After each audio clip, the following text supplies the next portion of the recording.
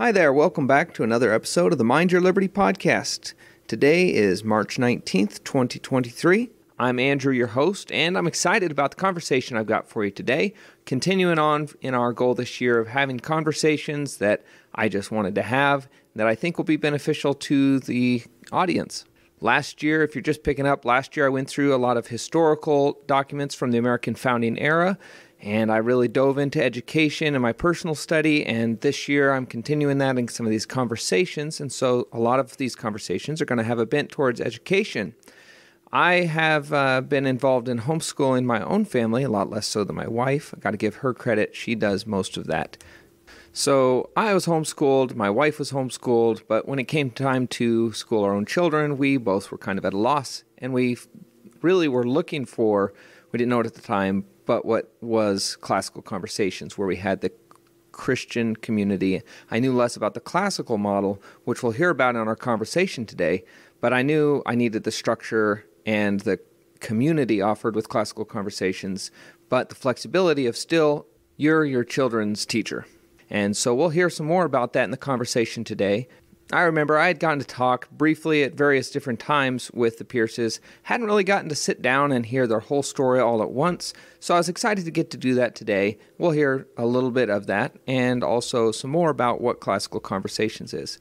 Again, this is the Mind Your Liberty podcast, so I try and I will try and keep the topics of the conversations tied into liberty in somehow, but I think really as I'm learning and everything, everything connects. There's nothing that is just off in a universe all by itself. Everything in this life is connected, and everything can really tie into liberty. And I think we'll hear more about that in the conversation too. I'm excited for you guys to get to listen. Without further ado, I'll jump on into the conversation.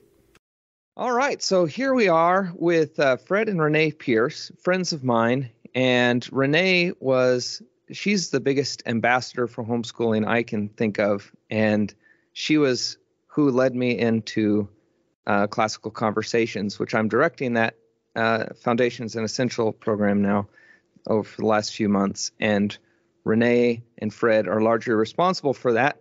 So say hi, Fred and Rawné. Hey. Hi.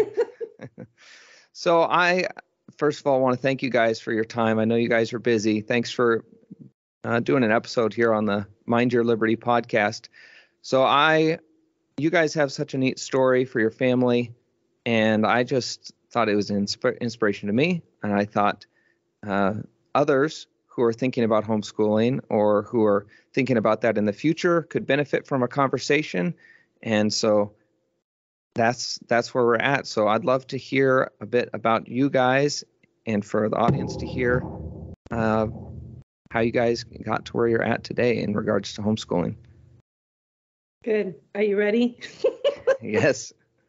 Um, okay, so we kind of decided ahead of time like which part of the story was whose. So I'm going to start so we don't talk over each other. Um, I think there's a few like pivotal things that led us to where we were. Um, I think the earliest thing was as a 16 year old in high school, in public high school.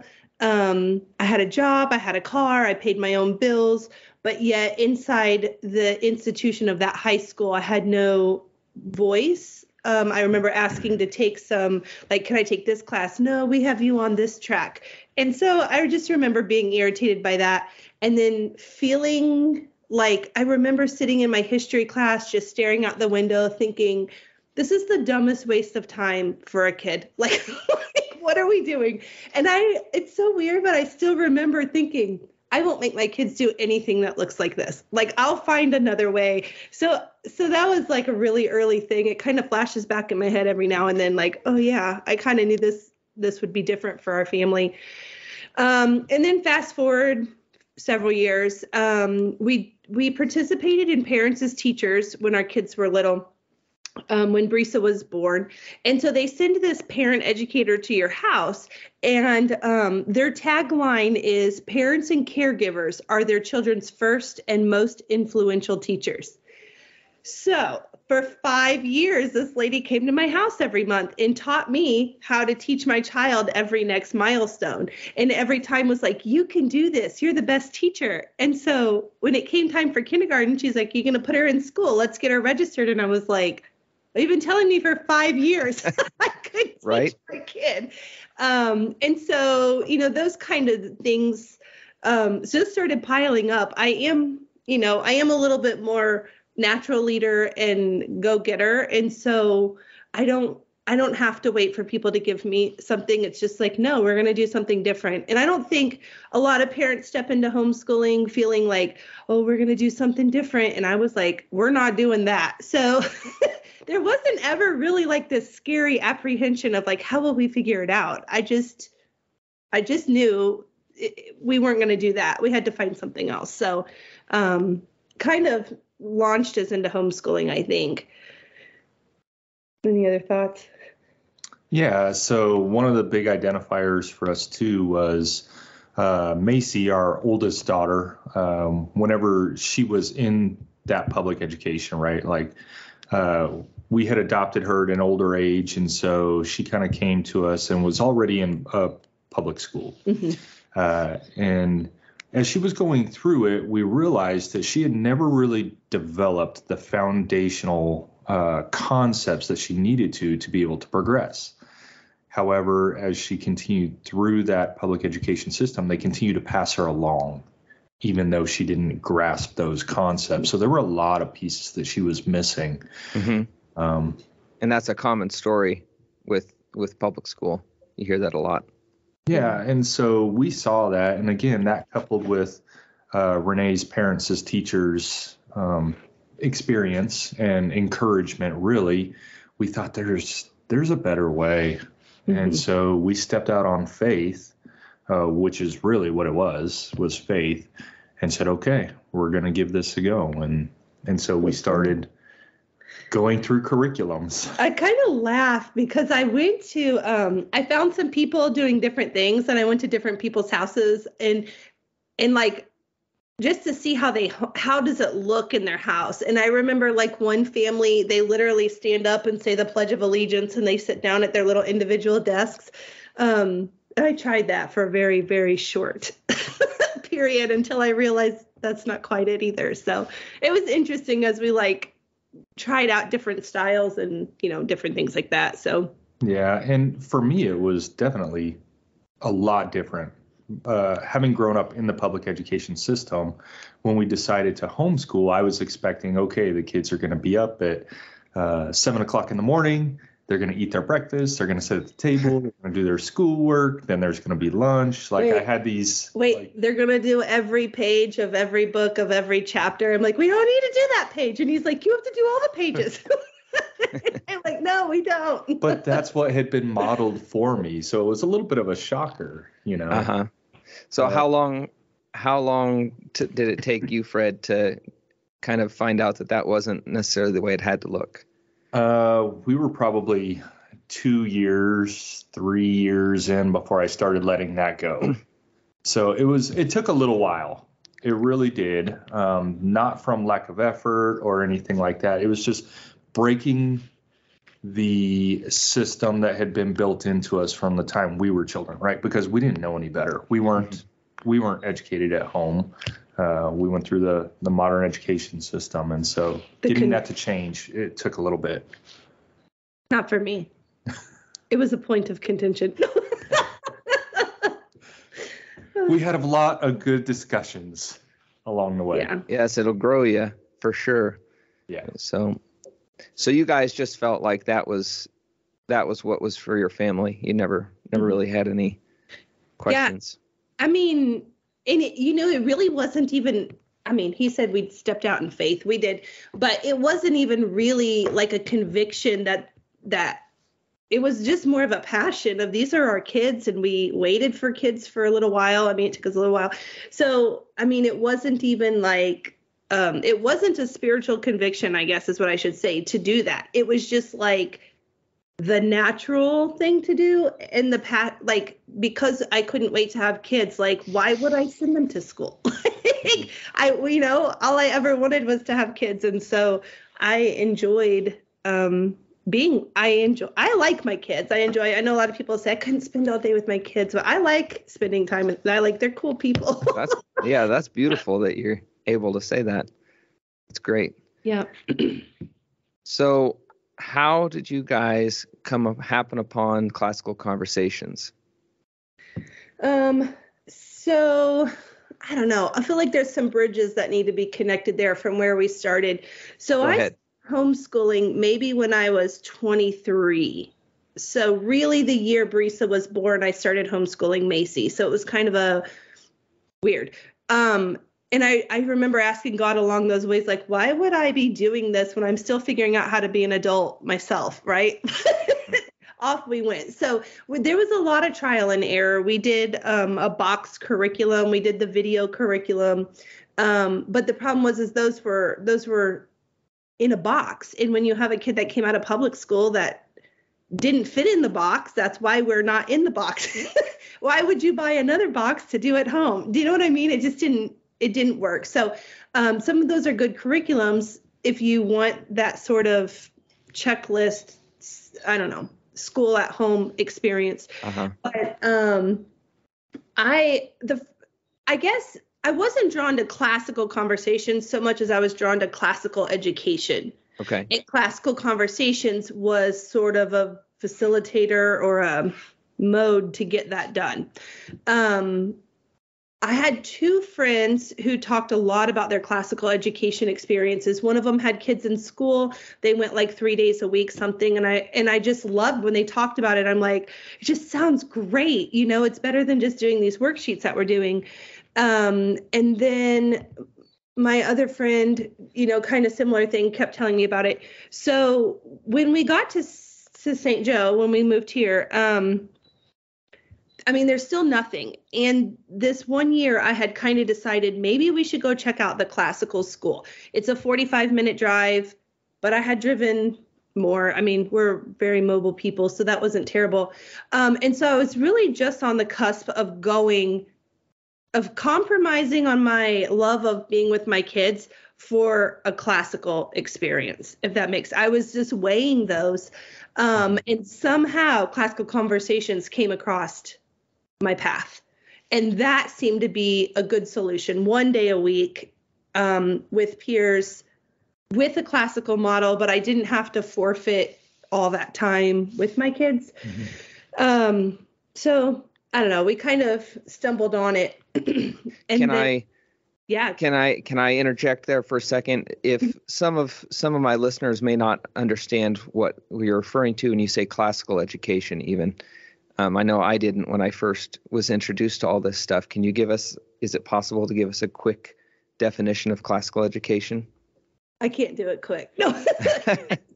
I've been wrestling with this a lot this week um, because we're getting ready to graduate Brisa out of, you know, she did classical for eight years. And it, and it, just when you think you really understand it, oh, it's, it's these three stages.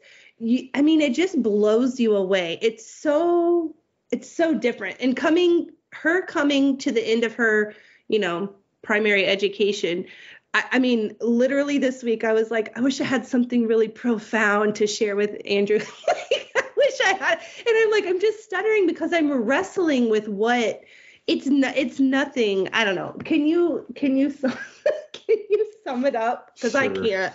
Okay. Um, So a classical education basically takes the same building blocks that we use as kids, right? When you're a baby uh, and as you learn to crawl, you take those baby steps and get there, right? And then as soon as they're to that part, we're able to start teaching them uh, to speak. And nobody learns how to speak right away. You learn through doing it.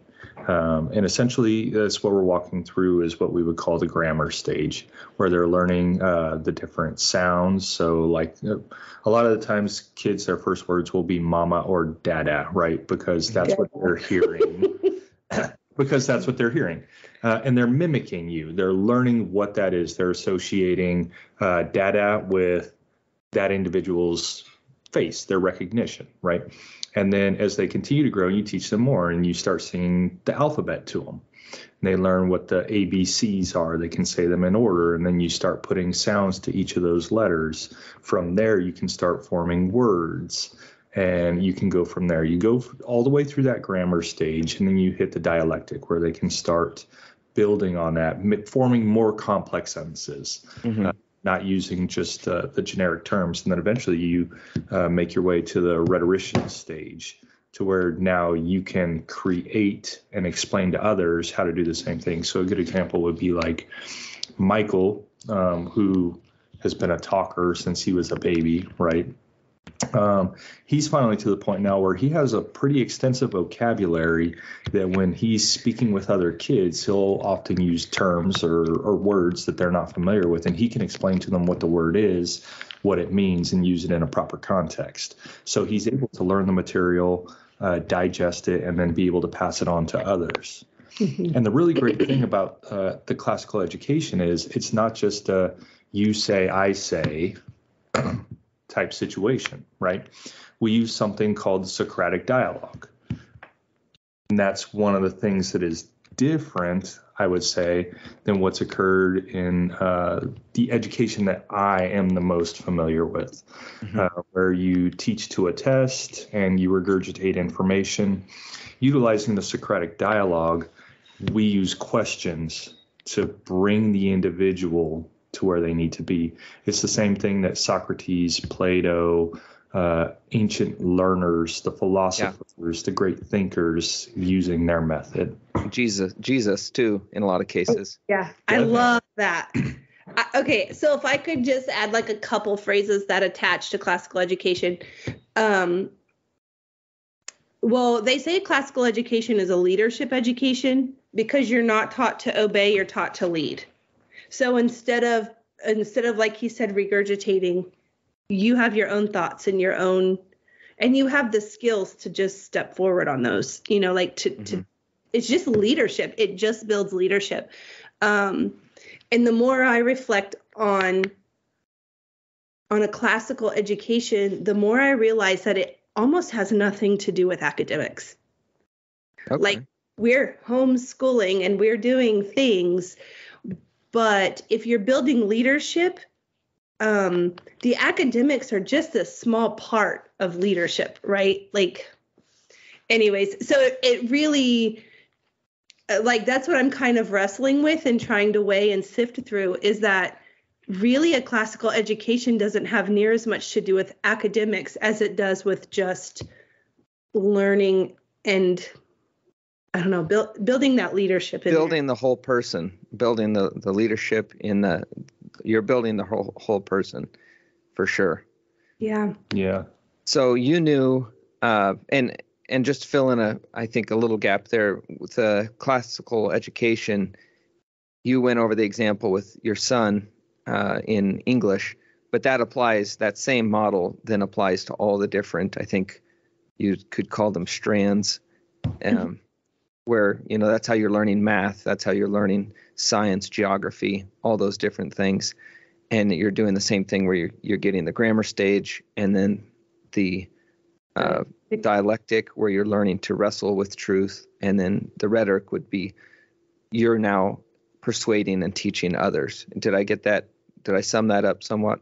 Yeah. I think my favorite words to describe it in the bible it says knowledge understanding and wisdom so when somebody first explained to me the pedagogy of um, grammar, dialectic, and rhetoric, and they used those terms, I thought, well, that seems pretty natural. We put in knowledge, we start to understand, and then we become wise in those things if we mm-hmm. all the way through.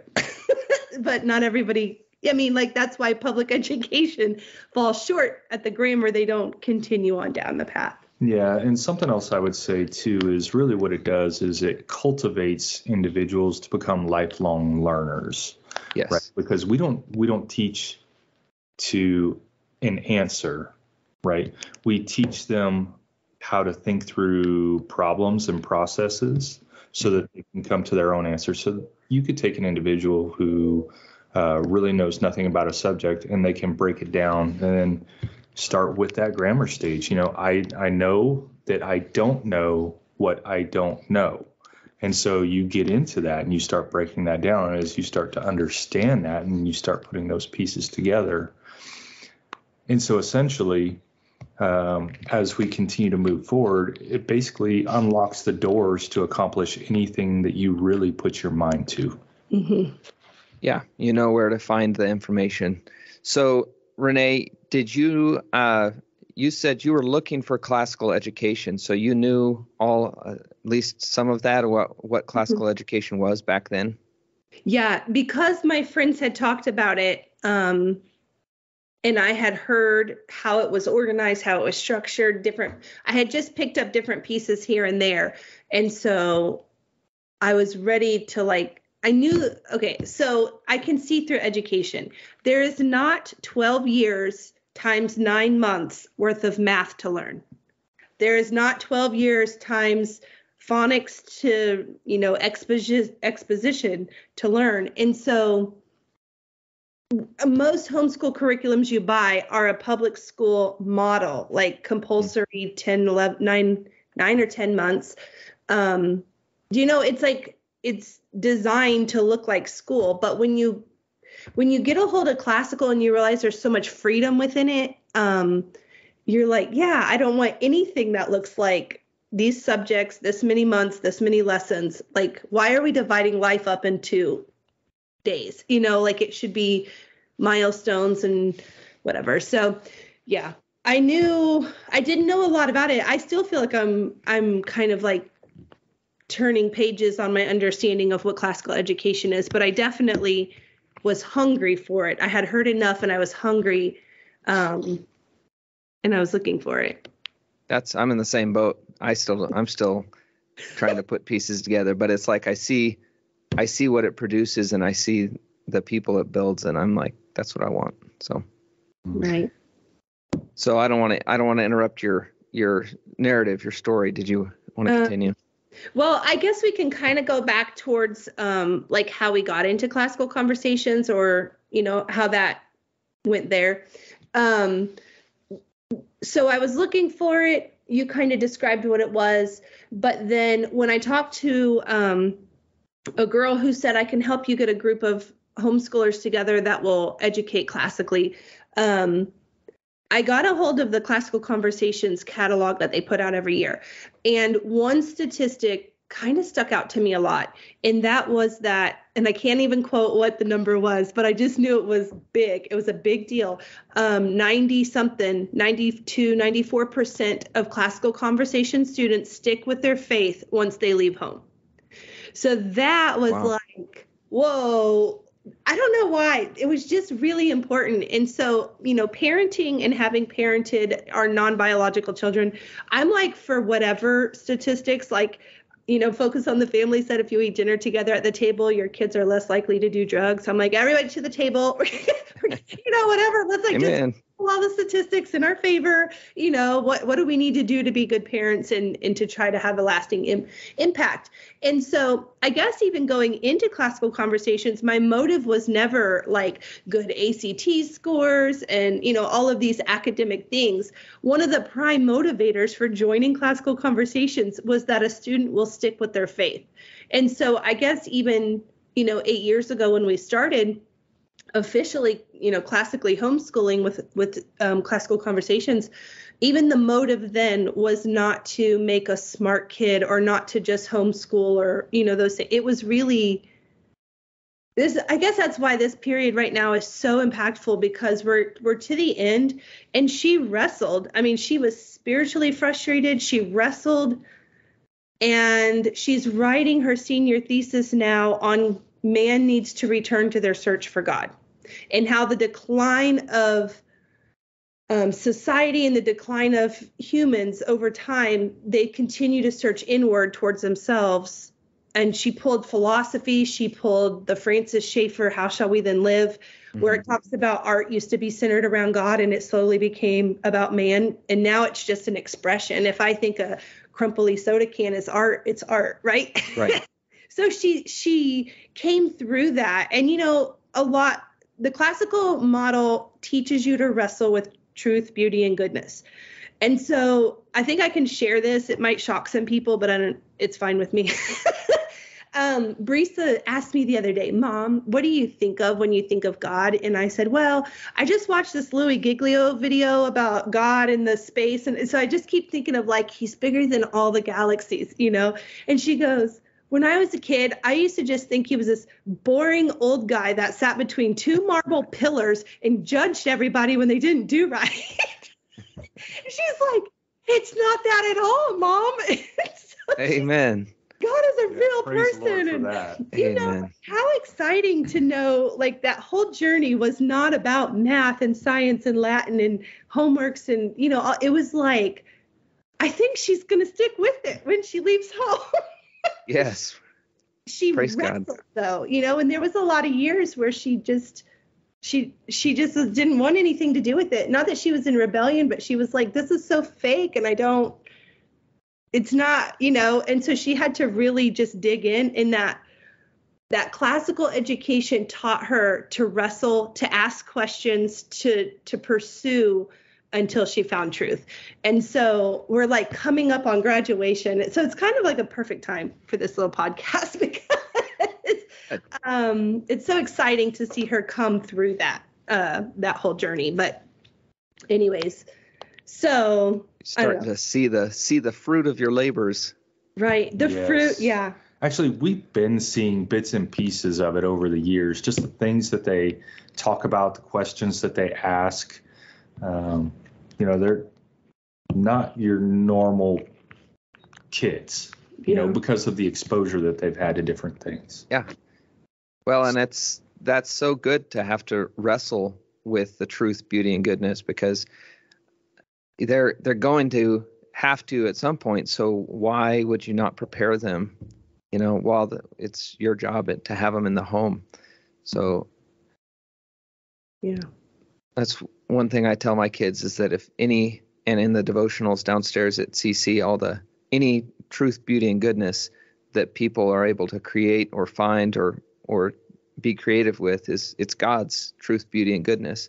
And the reason why, like when we went through art, the reason why the the modern art is so ugly is because that's all you're left with. Once you reject God, you're and you're trying to find something new that's not that's novel all you're left with is is ugliness because uh, even if some you know a godless artist paints something beautiful that's it's god's and we can appreciate it because it's god's Mhm. so uh, i appreciate you sharing how you guys got involved in cc with uh, rawné you're uh, ar and area representative right that's what that Mhm. stands for Mhm. with CC. Would you mind uh, sharing just a little bit about what CC is? Uh, yeah, go. Okay, so Classical Conversations is a group um, that meets once a week in your local community.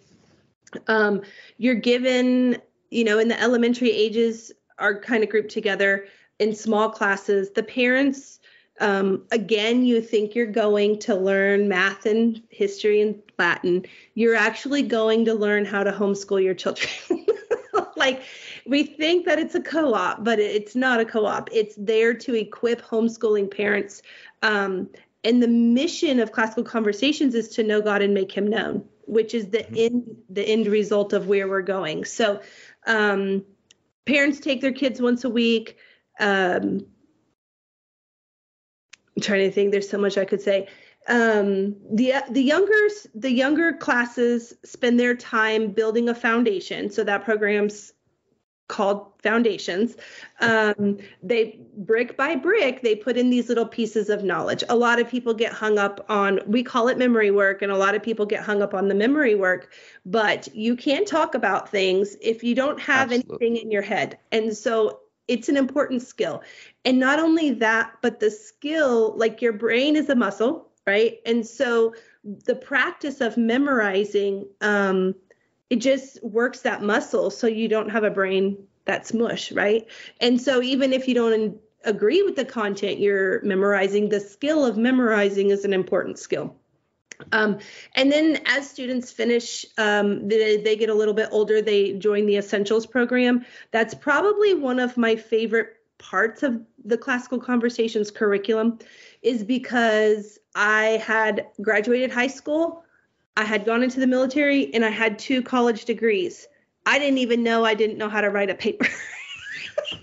I did not know that until I got through essentials and I was like, oh, okay. now I know. I put words on papers and they were coherent sentences, but I wasn't saying anything, you know? So Essentials has like kind of a special place in my heart because I've seen it turn some kids around that had no thoughts upstairs, like nothing going on. I don't know, whatever, okay. And now they're writing like these beautiful stories. So I really love that. They learn English grammar and English composition. Mm-hmm. And again, we think that that essentials program is the fruit of classical education and it's still the foundation. We're still building the foundation. And then they go into the challenge program. We have six strands um, that are six skills or tools that we're trying to teach six skills that we're trying to teach the student. Um, but we use content and subject matter, such as biology, to teach the skill of research. Um, it's hard to put it into um, like a nice little bow, but anyways, and especially because I've come so far through it. But yeah. Well, what you said there about the essentials, how you you found you know i think you said you didn't know how to write a paper and when you once you got to essentials that speaks to something i've heard you say a lot and i've read in the the cc and, and then i've seen it in my own life and in my wife's life in classical conversations you're redeeming two generations at a time mm-hmm. because you're and you're like you said earlier you're building the people you're building the leadership and that works on two generations at a time mm-hmm. because I, you know, you go through the we believe statements that CC puts at the beginning of all their stuff is we believe the parents can teach their children and should. I, I don't, you probably have that memorized. I probably butchered it, but I don't. I probably should have that memorized. but that was the gist of it, wasn't it? That was one of them, right? Yeah. God so, trusts their children, and so should we. Or God God trusts parents with their children, and so should we. Something along those lines. That's that's a lot better, yeah. so, uh, Fred, you, when I first got into CC, uh, which we've been in it for six years now, we've had our kids. My oldest is in Essentials now. Six uh, years. Uh, six years. This is our sixth year, yeah. And uh, when I believe when I started and up until this last year, you were directing a challenge program. Can you share? Some of uh, what you loved about it and what you learned? Definitely. So I didn't just jump in and start out at the challenge program. Uh, I was actually Rawné's first contracted uh, tutor for the foundations program. So I spent two years uh, redeeming my elementary education, for lack of better terms, right? And uh, you know the thing that I really enjoy about it, uh, being involved, is that education can be fun. It really can. It doesn't Absolutely. have to be sit down at your desk. It doesn't have to be okay. Everybody be quiet. Everybody sit there and do this assignment. Uh, really, it was an opportunity to enjoy the time with the kids, right? And so once I worked through the the foundations program, like two years there, and our community blossomed almost overnight. Year one, we had uh, six students and then we doubled up and then we needed challenge programs after that. And that's when rawné had asked me if i would consider stepping into the challenge one arena uh, which i've done like you said for the last several years up until last year. Uh, my work schedule no longer allows it but i would definitely continue to do it if i could. Uh, the what challenge, was your favorite part? Favorite part of challenge one? Yeah uh, my favorite part of challenge one is probably when we read the founding documents. Uh, it's part of the curriculum that we get to go through. We're fortunate enough. Uh, we get to read the documents like the Declaration of Independence. We go over the Gettysburg Address. We read uh, a lot of the first inaugural addresses. Uh, and we get to work through those and what it meant for America as it was being as it was being built, really. Uh huh and you do all that in, in conversation, right? You're not just standing up there talking about it. You guys are having a conversation amongst yeah. the students, right? Exactly. So if you're up there lecturing, which is what we're all used to, right? Then you're not doing it right. Um, so what it would be, say for example, reading the Declaration of Independence, we may read it in class typically the the program is set up almost like a college prep program to where the students are aware of the assignments the week prior to class. They should already have all the work done and when they come to class then they're ready to discuss what they've read and to really digest that. And so that's when we have an opportunity to work through those complex uh, thought processes. Um, and if we get to a point where we're uh, slowing down i just have to format my questions a little bit differently Okay. and through classical conversations, we've learned some really great tools, uh, such as what we call the five common topics that we use to discuss these things. And those are definition, comparison, circumstance, relationship, and testimony. And you can use that to work through just about anything. Good. So, are you guys doing the founding documents? Are is that your material for all the different strands, or is that just one single strand? No, that's just one single strand. Um, that's when we're going through our reasoning. We'll actually read those, digest them, and have a discussion. But the really great thing about this is the challenge one theme is discipline is the cornerstone of freedom, right? So if you are disciplined to do what you need to do, you have all the freedom in the world after that, right? So that's something as far as like being able to hold to appropriate study times, getting It's a process. right. So like if you know, okay, I have school, I have chores, I have these other things, and you do them, you're disciplined enough to take care of them when you need to, then the rest of the time is yours. That's free time.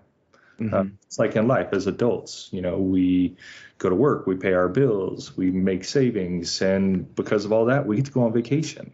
right? You know how it relates uh, in Yes. that capacity. But the other really great thing about this is so in challenge one, you have logic, exposition, research, reasoning, debate, right? If you look at CC and the model that they use, those strands are all in an outer circle, okay? Mhm. And at the center is God. Mhm. And one of the things that I always had a problem with in modern education is each of those strands were blocked out. It was almost like they were in a box and the boxes don't touch. Very compartmentalized. Exactly. Well, within uh, the challenge program, all of those strands are interwoven.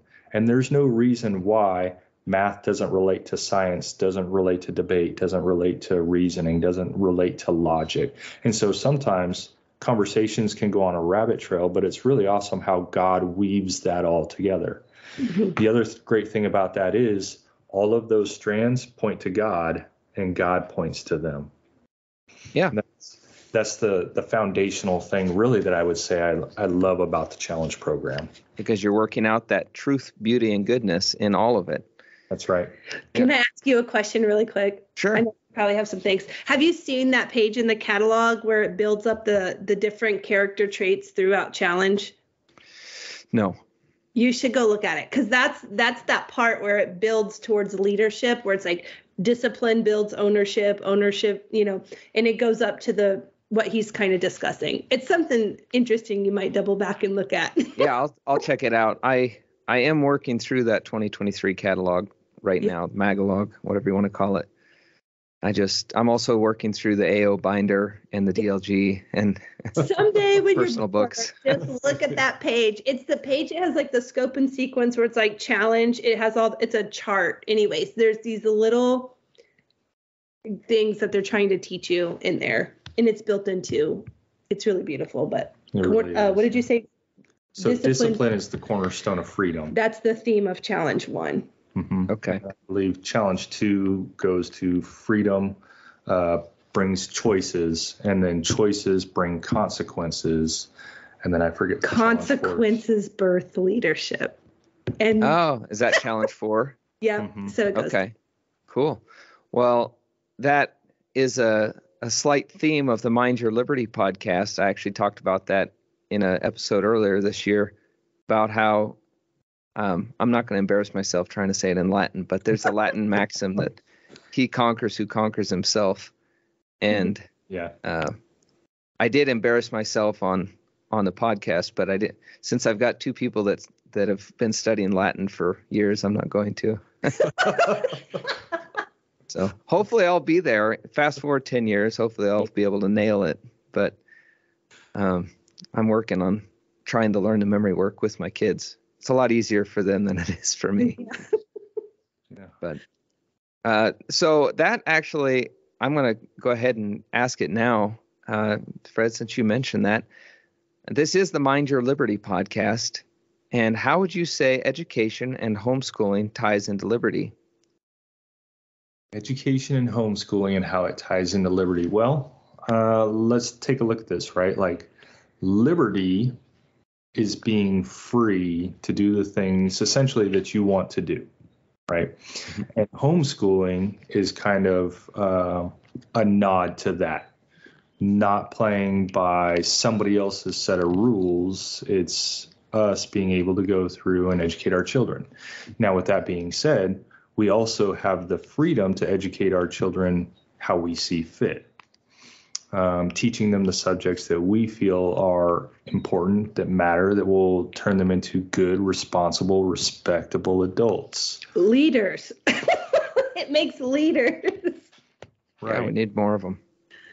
And so I've found that in my experience with all the students that have gone through the program, each of them takes on more of a leadership role as they continue to progress. And I've seen it um, as they've gone off to college, as they've gone off to vocational technical schools, and they become leaders within their areas, if that makes any sense. It does. It does. Can I riff off of that for a second? Of course. And, and just thinking out loud here, the uh, government education system. So if we're thinking about national liberty, civic liberty, the the government education system we've talked about is very obedience oriented. You know, you you Yeah. say the thing that they want you to say, you put your time in, you sacrifice your 8 hours whatever the case may be. Hopefully not 8 hours, but several hours of your life and you do what you're told to do, you say what you know the the teacher wants you to say, and then that carries on exactly into higher education. So, as I'm sure you're aware, most a lot of the higher education is captured in that same mindset. And then, guess what?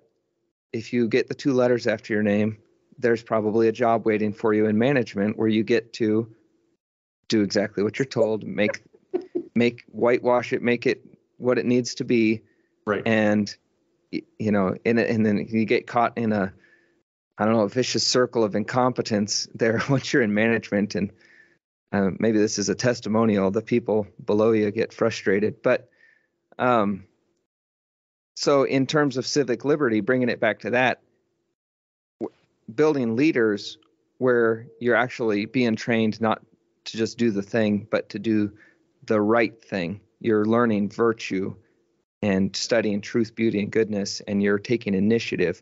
Like my kids in foundations, Davy at uh, you know his young age is giving presentations. Now it might just be about this new toy he got or something like that, but he's standing up in front of the class and giving presentations. And he's that's all the kids in foundations do that every week. And when they get to essentials and they present their papers and they're uh, and then in challenge they're given feedback on their presentations right there's a can't remember karen always says the Glows and grows. grow, glows and grows thank you yeah what what did you do good and what can you do better next time Right. and they're also learning how to give that and those are all such vital leadership uh, and i would just say people skills but uh, so when you get to the civic leader you know you were producing leaders now that can maybe not just do what the state tells them to do you know the the public education government education is built to create good citizens in terms of just stick to your little corner and do your thing hmm and and the um, I guess what we're what we're doing here in classical Christian education in builds people who are able to break away from that. Yeah. So if I can jump on that real quick, Yeah. uh, maybe I'm going to jump ahead and sorry if I steal this from you. Uh, but one of the great books that we read when we were first starting this process is called A Thomas Jefferson Education. It is a great book and it talks about exactly what you had mentioned how, you know, kids, and I'll, and I'll try to sum it up as best I can. It's been a while, um, but our education is almost modeled like a conveyor belt.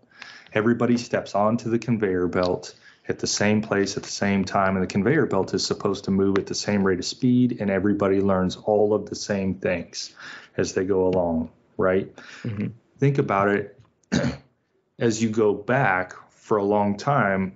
America was in that industrial age before we stepped into the uh, information age, right? And so people were working in factories. And what do we need?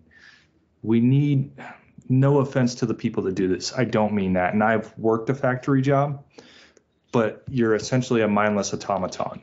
You go in, you punch the clock, you do your repetitive task over and over again. The end of the day, you punch the clock, you go home, you come back, you do it over and over again. That is essentially what the modern education has set us up to do. One of the struggles with that as well is there's very little room for outside development uh, as far as being able to move ahead, or uh, you know, some students may need to slow down. Uh, mm-hmm. Uh, like we talked about earlier, grasping those foundational concepts. The conveyor belt just continues to move them along, and it's just filling holes.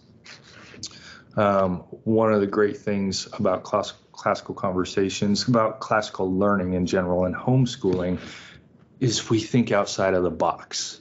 So I listen to a lot of podcasts, and one that I was listening to earlier today um, had a former Navy SEAL on it, and he wrote a book. Um, I think it's called The Attributes. There are 25 of them and how they pertain to leadership. Well, on the podcast he was speaking to, one of the things that he brought about is okay, let's say you're in a situation and you need to make a decision. You need to stop and ask yourself one, what are the rules or boundaries as they apply to the situation? Then you stop and you ask yourself, second question, are these rules or boundaries real or are they perceived? And then the hmm. third question is, okay, if these rules or boundaries are real, what are the consequences if I break them?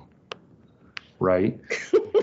Because because let's face it, some rules are just silly rules. Some rules can be bent and some rules can be broken with little to no consequences. And to go along with that, within the classical model, that's what we're learning is how to think outside of that box. You know, you've mm-hmm. learned to solve a problem uh, in the A method, but has anybody ever considered this B method? It may be better. It may be more efficient. It may be more effective. Um, and so that helps us step off of that conveyor belt. That's good. That's good. It makes me laugh because I deal with a lot of conflict, and people are like, "It's either this or this," and I'm like, "There's like 20 other options we could." like, you know, but a lot of people just get stuck in that.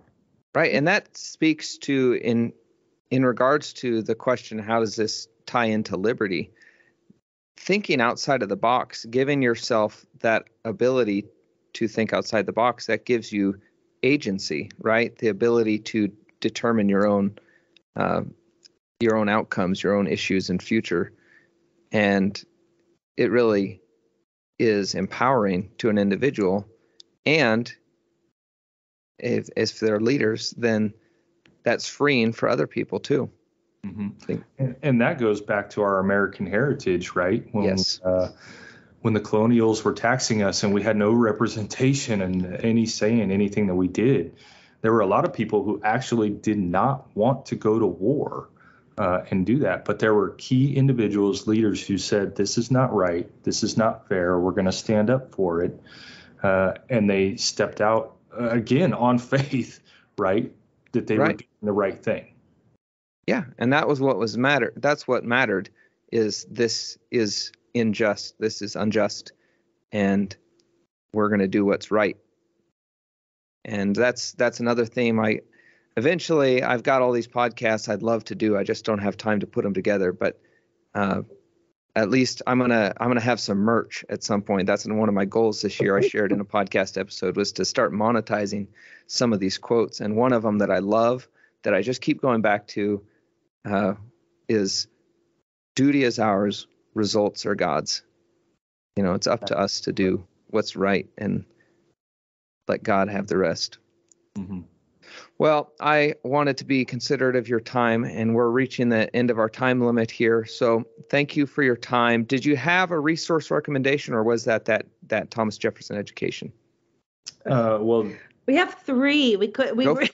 go for it. Thomas Jefferson education is one of my favorites. Um, if you want, if you want to think outside the box, it tells you how to get off the conveyor belt and and consider other things.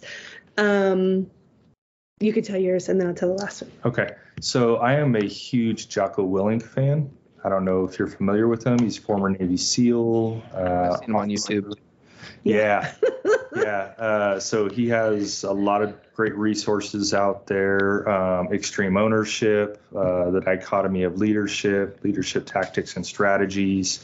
And he basically breaks it all down for you uh, mm-hmm. Leadership is actually a skill that can be learned. It's not a natural born trait necessarily. Okay. And they have a kid's book called yeah, the Way called? of the Warrior Kid. So that's really fun because that kind of segues into the last thing I'm going to tell you because I think you'll like this one too. Um, there's a new company out called Brave Books, and they put out a monthly book subscription. Um, so Michael's getting these books, and they kind of contradict modern thoughts. I don't really know how to put it politically correct. But, anyways, um, the Brave books are really fun uh, that he gets every month. And so we're building that that thinking into him young. So cool. Excellent. That's kind of similar to the uh, the Tuttle Twin books. Yeah. Mm-hmm. Mm-hmm. Yeah, really similar. Yeah. Cool. So, well, I'll check it out. Are the Brave books out of the publishing house from Jocko Willink? No. No. No. Okay. Different publishers. Okay. Really cool. neat though. Mm-hmm. Well, I will certainly check it out. I've got one of Jock. The Extreme Ownership book is actually on my reading list. Uh, it's in. It's queued up in my audiobooks. So thanks for those recommendations, and for the audience, I encourage you to check those out. So thanks, thanks for your time, uh, Fred and Rawné. I really appreciate your time. I think this has been a conversation that, again, shares your story and will hopefully inspire people to explore some of these options. And I, I've wanted to have the conversation for a while. So thanks for taking the time to do it. Thank, Thank you, you for having us. All right, that's the conversation. I hope you enjoyed it. I hope you're able to learn something, to glean something from it. If it was beneficial, if it was something you would recommend, if you would, just hit the like button on whatever platform you're on. Send it to somebody you think would enjoy it, needs to learn something about this listen, all we can do is mind our own liberty here. And if we're if we've got family, if you've got kids, make sure you're bringing them up in the nurture and admonition of the Lord. Make sure you're teaching them a biblical, rigorous worldview so they can uh, withstand the wiles of the devil. If you're a father, if you're a mother out there, you really do have so much uh, impact on the world through your kids. If you don't have kids yet, maybe these have given you things to think about. So when you do get there, and if you've already had kids in the past, then you can share it and tell someone else about it because so much has opened up in the homeschooling arena over the past 30 years from the time when I was homeschooled to where it is now. It's just a different world. Thank the Lord for it. I am privileged. I am grateful to live in this country and specifically even the state of Missouri, where it is uh, very free. We were given a lot of liberty in that area. So I will go ahead and make the resources that they recommended available. I'll link to them in the description of this podcast. I don't have any affiliates set up at this point. I'm not making any money. I just want to spread resources. Like I said in the conversation, I love it when people recommend resources. I always find new podcasts, new books to read, something like that. So hopefully I can be a blessing to you that way. Also, if you want to find out more about classical conversations, you can go to classicalconversations.com or if you'd like, you can email me at mindyourliberty at gmail.com. Be happy to get you some more information. And then as I leave the founders off, I just, I, I miss them. And so I'm going to share just a quote with you here from Dr. Benjamin Rush, physician in the founding colonial era of the United States. He had some wacky views on some things. I can't fully endorse him, but he has a good quote here, and he was very in- influential in the revolution and leading up to it. And if you remember, he was influential actually in getting Dr. John Witherspoon into the colonies. If you don't know who John Witherspoon is, go back to my very first episode in January of 2021 and listen to his sermons. Fantastic. So, the quote here from Dr. Benjamin Rush about education the only foundation for a useful education in a republic is to be laid in religion. Without this, there can be no virtue, and without virtue, there can be no liberty. And liberty is the object of life of all republican governments. So, Dr. Rush certainly had a handle on that concept. And again, we're training the whole person. That's what God does, because we're spiritual beings with a body. So I don't want to talk any more than I already have. I just want to leave you with that and encourage you until next time to mind your liberty. Think about it, care about it, defend it as you ought. Mind your liberty.